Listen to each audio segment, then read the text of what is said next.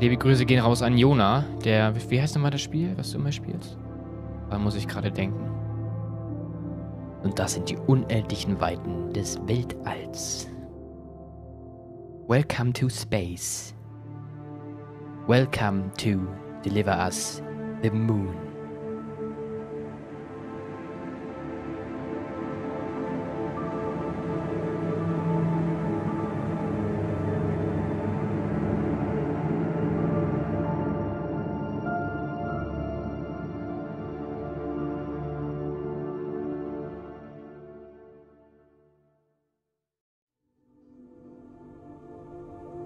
Und damit Hallöchen und herzlich willkommen zu einer neuen Folge Let's Play Deliver Us the Moon. Wir sind jetzt im Weltall, beziehungsweise das sieht aus wie so eine, wie so eine Zwischenstation zwischen Erd, äh, Erd und Erd, wie heißt das? Erde, ne? Erde und Mond, nicht Ernd und Mode. Ernd und Mode ist auch schön. Ähm, wir gucken uns mal diesen wunderschönen Bildschirm an. Okay, was haben wir hier? Nach oben bewegen, Entfernung. Ah, müssen wir jetzt andocken? Verrückt. Nach unten? Das ist halt echt wie bei, genau, Kerbal Space Program, was Jona mal spielt. Das ist echt ziemlich ähnlich. Bisschen hoch, bisschen hoch, bisschen hoch. Stopp, stopp, stopp, stopp, stopp. Bisschen nach rechts. Sehr gut, sehr gut. Bisschen runter. Hoch. Runter. Okay. Angedockt. Okay. Der schwierigste Part ist schon mal geschafft. Also, jetzt. Hätte ja noch sein können, dass irgendwas passiert. Puh, Okay. Solange es nicht wie läu- läuft bei Interstellar, ist alles gut. Kontrolle an Fortuna One. Sie müssten jetzt Pearson erreicht haben. Der Sturm hat unsere Instrumente beschädigt. Na, wir shit. können ihre Position nicht erfassen und keine Nachrichten empfangen. Aber wir können Fluktuationen im MPT-Netzwerk erkennen. Wenn Sie das hören, erreichen Sie das Kontrollzentrum, finden Sie den Fehler in der MPT-Verbindung und bringen Sie sie wieder online. Viel Glück da oben. Alles klar. Nach links rollen, nach rechts rollen. Okay, wir rollen mal ein bisschen. Ah, wir sind jetzt ja, wir sind ja schwerelos. Stimmt, ja. Ah, schön. Das muss, das muss ein unfassbares Gefühl sein. Pearson Raumstation. F fünf Jahre nach dem Blackout. So, hier gibt es jetzt kein oben und kein unten. Wir gucken mal, was haben wir hier? A2. Gut, wird ja jetzt schon schlecht hier. Oh Gott, jetzt schon verloren. Von wo kamen wir? Ich glaube von hier, ne? Ich glaube, wir kamen von hier. Oh, es ist cool. Es ist irgendwie sehr cool. Ja, ich glaube, hier war unser Startding, ne? Mhm. Okay, also A1 ist Start. Mal merken. Uh, was ist denn das? Wir fliegen mal... Boah, das ist alles... Das ist ja so viel. Hier kann man nicht auf die Erde gucken. Nee, kann man nicht. Aber doch, das ist... Das sind diese Fenster, ne? Wahrscheinlich ist es einfach gerade nur dunkel draußen. Ach, da! Ah, die berüh der berühmte Blick auf die Erde. Aber ja, wir befinden uns im Jahr 2059. Die Erde ist leider nicht mehr der schöne blaue Planet, wie er es einmal war. Ach, Wer weiß, was 2059 passiert ist. Keine Ahnung. Niemand weiß es. Also jetzt for real. So, wo können wir hin? Wo können wir lang? Da unten? Hier? Da waren wir gerade. Alter, das ist so krass, wie schnell man die Orientierung verliert. Weil man einfach keine Orientierung hat. Dreh mich mal gerade. Hallo? Kann ich das Ding auch aufmachen? Hallo? Muss ich noch einen Knopf drücken hier?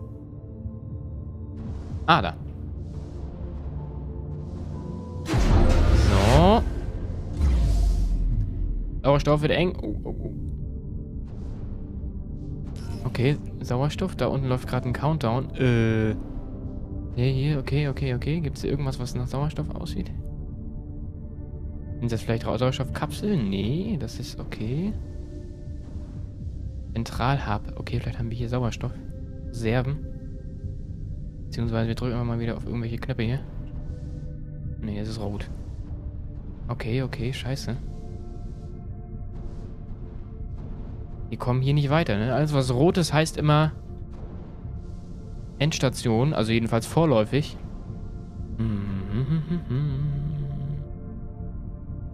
Hier unten wäre nur eine Spiegelung. Hier, das sieht aus wie ein Lager. Boah, Alter. Alles fliegt hier durch die Gegend. Aber nichts, was uns hilft. Nichts, was uns hilft. Nochmal hier rein vielleicht?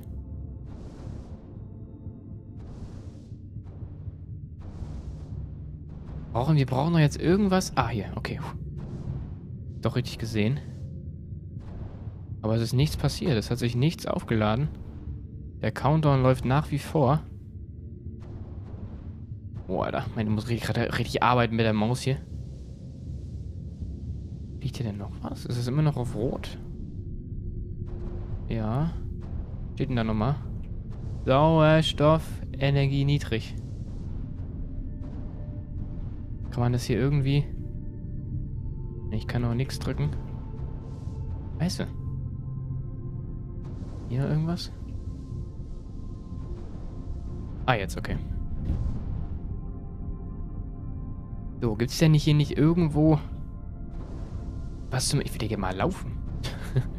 okay. Ah, ja, okay, okay, okay, okay, okay. Aber immer noch, warte, immer noch läuft der Countdown. Sind wir jetzt draußen? Oh. Äh, nee, nee, nee, ich wär, würde gerne wieder rein. okay, hoppala. Äh, ähm, okay, als ob wir jetzt einfach rausgehüpft sind. Oder ist das nur so halb raus? Ah, da vorne ist noch eine Menge. Oder sind da Glasscheiben dazwischen? Okay, alles, alles. Oh, hier liegt ein bisschen was rum. So, zack, zack, zack. Okay. Erstmal wieder clean. Da ist noch einer. Ey.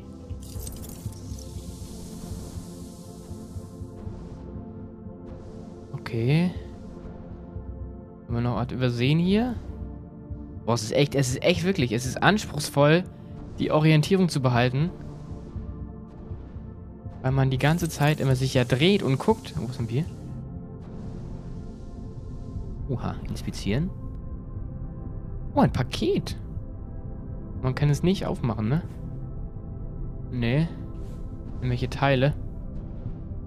Hier gibt's nichts, ne?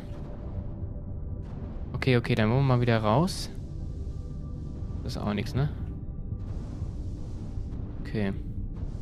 Nochmal ganz kurze Probe. Das hier ist eine Glasscheibe, oder?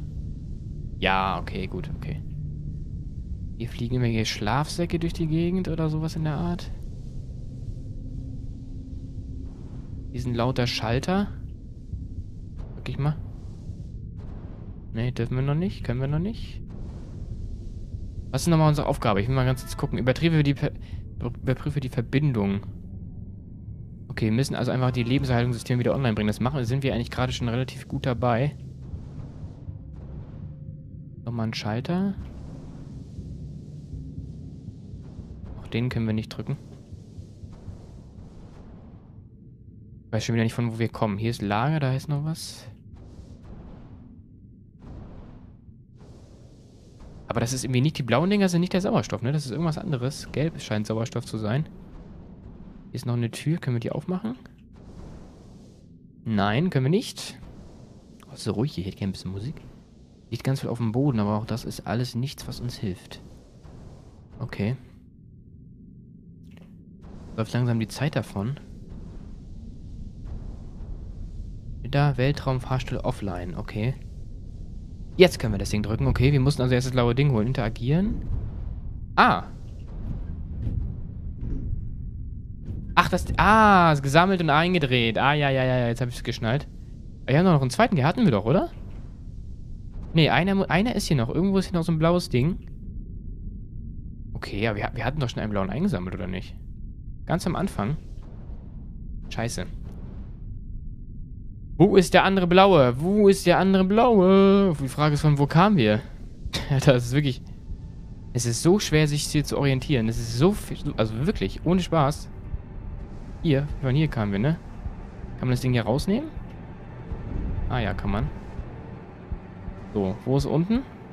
Alter. Hallo? Die Zeit läuft! Hä, wo, wo, wo, wo? Ah, jetzt ist wieder zu. Hä? Hä? Scheiße, ich, ich dachte, ich kann das rausnehmen. Kann ich es rausnehmen, wenn ich hier bin? Nein, kann ich nicht. Fuck. Okay. Ich glaube, ich sterbe gleich. Nein. Aber wo, wo, wo, wo ist das andere blaue Ding? Adios.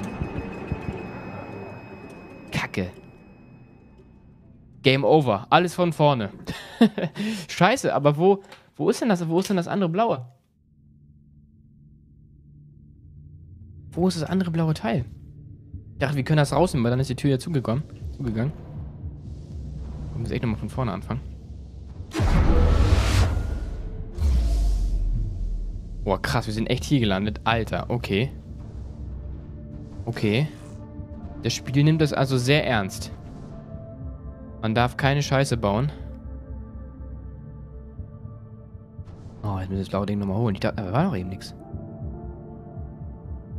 Okay, okay. Lange nicht mehr ein Spiel gespielt, wo man so auf die Zeit achten muss. Aber ich spiele sowas eigentlich auch nicht so storymäßig. Nicht, weil ich es nicht mag, sondern einfach, weil ich, weil ich, weiß nicht, weil ich mir die Zeit dafür nicht nehme. Ja, da kann man ja auch nicht sprinten. So, das Ding brauchen wir hierfür. Für die erste Tür. Ich würde ja gerne mal langsam Gronks Stimme hören. Aber wir, leider werden wir ja gerade noch sehr viel bequatscht. So. Die gelben Dinger sind für uns. So, jetzt haben wir ja schon ein bisschen Zielstrebigkeit, können wir jetzt ja vorweisen. Wir brauchen ja auch nicht mehr Sauerstoff aufnehmen, als wir tragen können. Ne? Ist ja auch irgendwo logisch. Hier ist denn hier noch irgendwo ein blaues Teil? Aber die Dinger, die werden einfach, genau, die werden einfach verbraten. Hier ist aber alles gelb, ne? Es ist alles nur gelb. Okay, das war so gerade doof, ne? Aber es ist auch gut, oft so beim, oft rafft man jetzt Sachen auch erst beim zweiten Mal. Ist ja bei Filmen auch so, dass man beim zweiten Mal sieht man einen Film immer anders. Das geht mir jetzt auch so, weil jetzt habe ich schon ein bisschen die Orientierung.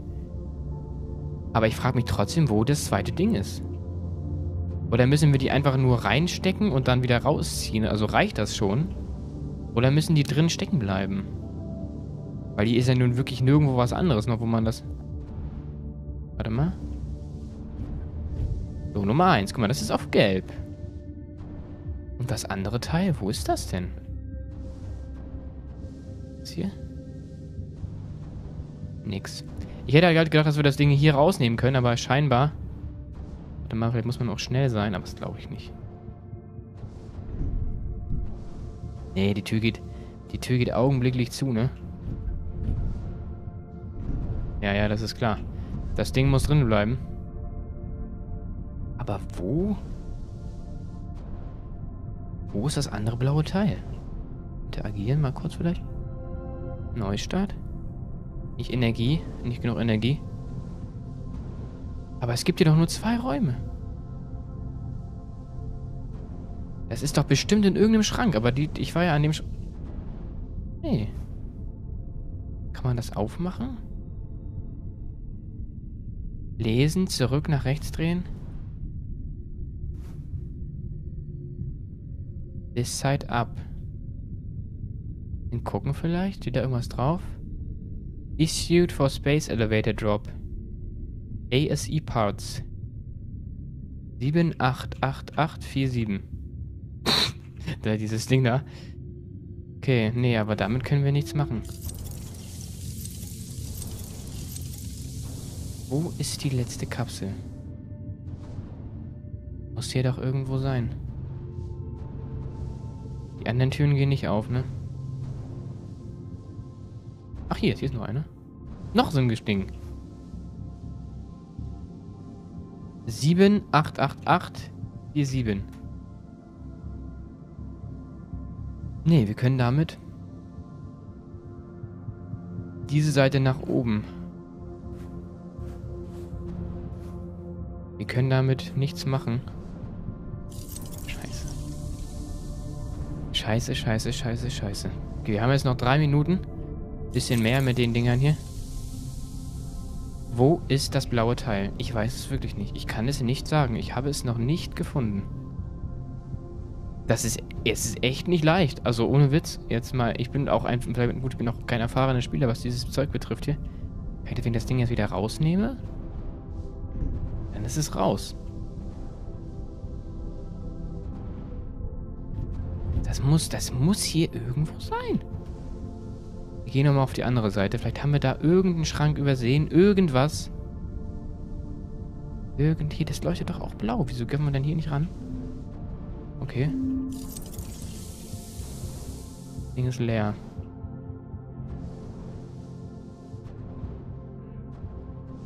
Nichts weiter. Nichts weiter drinne. Alles leer, alles leer, alles leer, alles leer. Scheiß doch die Wand an. Aber wo ist es denn? Wir gehen nochmal zurück. Mir bleibt nichts anderes übrig, als nochmal hinten zu gucken. Aber ich meine, da waren wir ja. Warum sollten wir... Warum sollte hier... Eine Leiter? Kann die irgendwas? Warum sollten wir hier... noch was finden?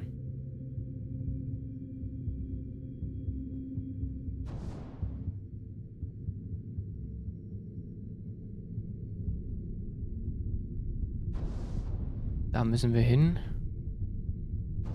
Das ist alles leer hier. Verdammte Scheiße. Wo? Das kann doch nicht so schwer sein, Alter. Es kann doch... Kann nicht sein, dass wir hier ständig... Ringen versuchen, irgendwas... Wo kommen wir überhaupt her?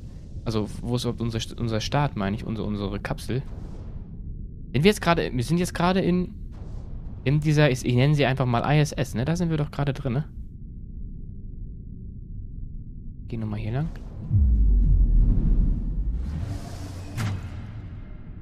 Hier können wir auch noch... Oh, hier können wir nochmal zwischendingsen. Das ist gut.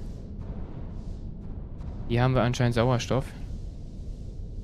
Okay, hier ist unser... unser hier ist unser, unser Raumschiff. Unser...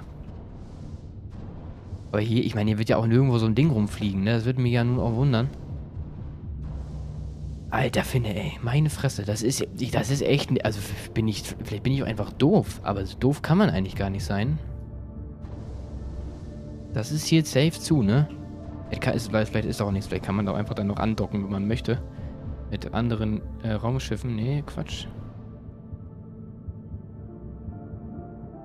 Jetzt zum Zwischenschnaufen können wir hier, das ist auch, auch gut zu wissen.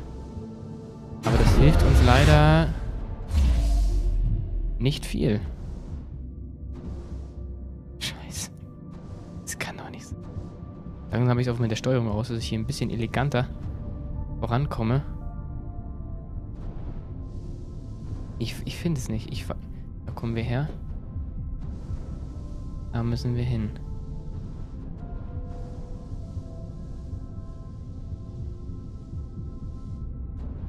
Kann man so vorbeigehen? Nee.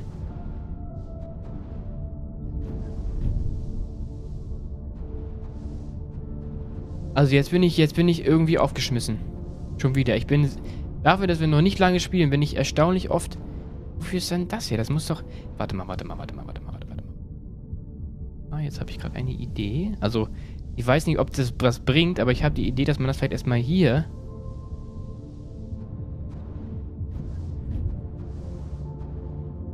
Was war das jetzt? Was, was ist jetzt gerade passiert? Warte, wir nehmen das mal raus.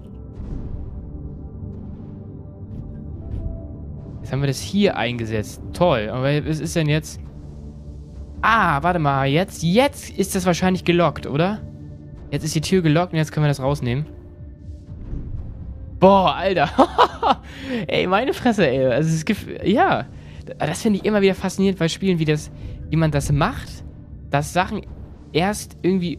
Irgendwie, ähm, nicht lösbar erscheinen und dann doch sich irgendwie dann lösen bin ich immer wieder fasziniert von, wie man das so Spiele-Designmäßig hinbekommt. Okay, wir haben es geschafft.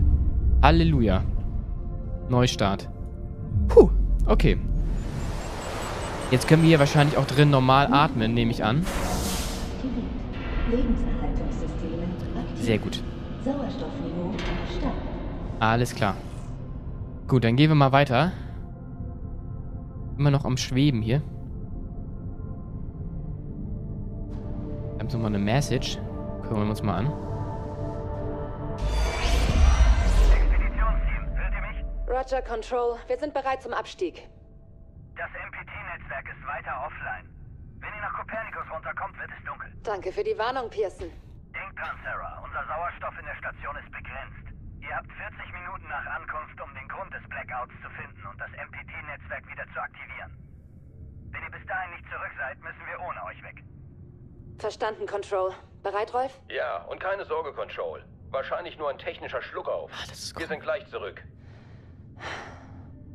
Schauen wir mal, wie es denen da unten so geht. Alex, beginne Abstiegsprotokoll. Alle Systeme aktiv. Abstieg in 3, 2, 1. Abstieg läuft. Okay, das ist jetzt fünf Jahre her. Und der Rolf Robertson ist niemand anderes als Gronk. Alles klar. Ich weiß gar nicht, woran die Daten, ähm, da weißt du, was da war mit September, 15., 16. September, war das auch 2054? Ich muss mir mal ein bisschen versuchen, die Jahre äh, miteinander, also zu- einzuordnen. Ich habe mich, glaube ich, noch nicht so ganz daran, also 2054 ist jetzt fünf Jahre her. Wir haben jetzt 2059. Welches Datum genau, weiß ich nicht. Aber es wird sich sicherlich noch äh, ergeben. Ist vielleicht aber auch gar nicht so wichtig. Überall fliegen hier Sachen rum. Okay. Also diese Nachricht, die wir gerade gehört haben, die ist jetzt fünf Jahre her. Ungefähr. Und wir sind jetzt hier allein unterwegs. Aber dann sind wir ja doch nicht Gronk. Ich dachte, die Hauptperson sind ja wir und ich dachte, die wird von Gronk gesprochen. Aber das ist denn ja nun Quatsch. Denn dieser Rolf Robertson wird dann ja sicherlich auch umgekommen sein. Wenn ich das richtig verstanden habe, hier kommen wir nicht rein, ne? Dann gehen wir mal hier lang. Drehen uns mal ein bisschen gerade, so. Ey, das ist echt verrückt. So. Was ist das hier für, für eine Maschine?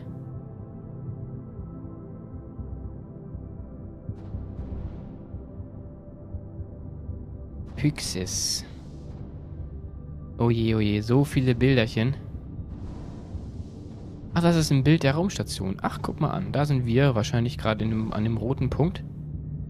Ich denke mal, hier kommt man nicht rein, oder? Ne, da geht's raus.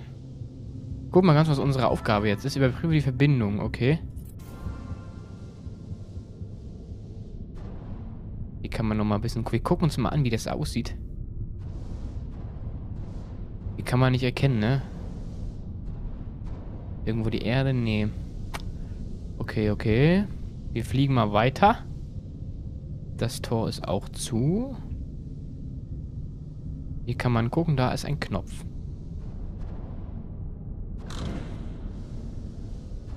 Oh! War das jetzt gerade eine Tür? Nee, gut. Einfach nur, einfach eine, nur eine Luke, ne? Warte mal.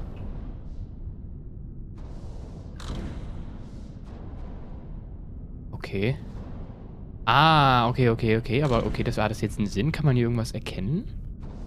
Wahrscheinlich macht man das, wenn die Sonne so richtig falsch steht, dass man dann nicht geblendet wird, ne? Denke ich mal, dafür ist das. Alles klar.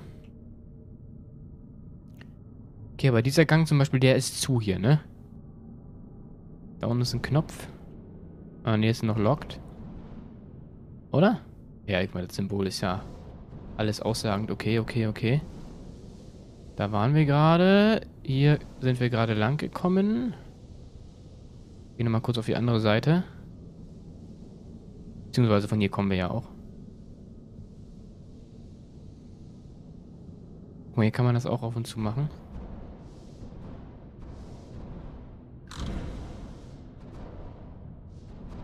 Jetzt muss man auch beide Seiten zumachen, um das Ding äh, hier zu öffnen. Kann das sein? Ist das, ist das plausibel? Ich probiere das einfach mal aus. Wir machen mal beide Seiten zu. Oder alle Seiten zu. Denn vielleicht ist das Bedingung dafür, dass das Tor aufgeht. Oder ich weiß, ich wüsste nicht warum, aber es wird sicherlich Gründe haben. Irgendwas passiert? Nee, wir können ja hier mal gucken. Ist hier irgendwas, irgendwie so ein Symbol? Nach dem Motto, von anderer Seite versiegelt. Baumaßnahmen. Ach so. Okay. Also ist es so oder so für uns in uninteressant. Alles klar. Guck mal, das Ding ist immer noch auf. Wird das nicht gerade so gemacht? Ah, nee. Blau heißt also. Okay, okay, okay. Aber hier sind keine Baumaßnahmen. Steht da unten? Nischt. Okay, aber hier wird man dann ja reinkommen. Ist hier irgendwo ein Symbol mit nach dem Motto, alle Luken müssen zu sein. Nee. Rotierende Teile. Okay. Ich weiß auch ehrlich gesagt gerade nicht so genau, wo wir hin müssen. Kommen wir von hier? Also diesen Gang Atemmisch habe ich schon mal gesehen, aber kann auch sein, dass er einfach nur ähnlich ist. Oh, Alter. Muss ich mich ein bisschen an diesen ganzen Wörtern vielleicht mal hier orientieren. Wir sind ja aber, wir sind ja eigentlich eben durch diesen komischen, durch diesen Kreis, Art Kreisverkehr gekommen. Das heißt, wir waren hier nicht, ne? Gehe ich nochmal durch die Gegend. Immer alles, was Knöpfe sind. Immer direkt interessant. Alte Cola. Alles vermüllt hier mal. Oh, da ist eine Nachricht. Und da kommen wir. Ich denke mal, wir müssen hier lang. Kontrollzentrum. Kommen wir hier durch? Ja. Sarah Baker. Na schön, Kumpel. Fast fertig. Keine Sorge, lackiert wirst du später auch noch. Bist du bereit? Der Aufzug ist fast wieder einsatzbereit. Ja, ich flicke bloß noch Alex zusammen. Willst du das Ding etwa mitnehmen? Na klar. Wir brauchen alle Hilfe, die wir kriegen können. Ohne ihn hättest du es nicht mal zur Luftschleuse geschafft. Der MPT-Blackout kann kein gewöhnlicher Aussetzer sein, Rolf. Da unten ist alles finster. Beim letzten Ausfall... Hast du die Nachricht von der Erde gehört? Nein. Was haben sie gesagt? Ohne das MPT können sie nicht mal mehr Schiffe hochschicken. Verrückt, was? Wir sind die Einzigen, die den Blackout untersuchen können. Rolf, Sarah, wir brauchen euch sofort unten auf der Oberfläche. Wir haben nicht viel Zeit. Okay, auf geht's. Alles klar. Oh, es ist echt, ich finde, äh, man erkennt Gronk nicht sofort. Klingt doch sehr anders. Da haben wir Rolfi. Rolfi, liebe Grüße an Gronk. Okay. So, hier ist ein grünes Ding. Können wir mal Rolf mal reingucken? Ah, ja. Das ist also Gronks Kinderzimmer. Kryoschlaf. Kryoschlaf? Also Schlaf im Sinne von Schlaf? Fehlfunktion, diese Fehlfunktion, was ist denn das? Okay. Nichts aussagend. Aber Gronk hat also immer eine gute Sicht. Ich sage nicht Gronk, ich sag mal Rolf. Rolf hatte eine, immer eine gute Sicht auf die Erde. Moonman. First Contact. Hatten wir auch schon mal an. Den Moonman haben wir, glaube ich, schon irgendwo mal gesehen, die Zeitung. Irgendwas zu drücken hier? Nö. Gott, das ist echt... Gott, gefährlich Cola zu trinken bei der Aufnahme. Ständig muss man aufstoßen. Kann man hier noch was... Ah, guck mal, hier noch was sammeln. Reminder, they have changed the code log. Code again. New code is 2539. 2539. Alles klar, nehmen wir mit. 2539. Hier wieder Einblick in die Privatsphäre. Einer der wenigen Überlebenden der Huygens Kryoschlaf-Funktion. Ich bin kürzlich auf ein Fragment gestoßen, das aus dem Kryogenerator geborgen wurde. Und ich habe gehofft, dass Sie es inspizieren könnten. Gibt es außerdem eine Möglichkeit, wie ich meinen ASE dazu bringen kann, äh, hydrographische Dateien, äh, Daten von diesem Tag zu projizieren? Ich möchte herausfinden, was wirklich in Huygens passiert ist. Also irgendwas ist hier schiefgelaufen. Wahrscheinlich, vielleicht hat auch diese Fehlfunktion etwas damit zu tun. Ich weiß es nicht. Und ich glaube auch, ich beende an dieser Stelle mal die Aufnahme. Es war gerade vielleicht nicht kein hundertprozentig guter Zeitpunkt, aber ich würde gerne die Aufnahmen immer an- und abmoderieren. Ich würde sagen, wir machen einfach in der nächsten Folge weiter. Wir bahnen uns den Weg durch die Raumstation und ähm, es wird sich schon irgendwas ergeben. Ich sag erstmal bis hierhin. Vielen Dank fürs Zuschauen. Bis zur nächsten Folge. Haut rein. Bis dann. Tschüss.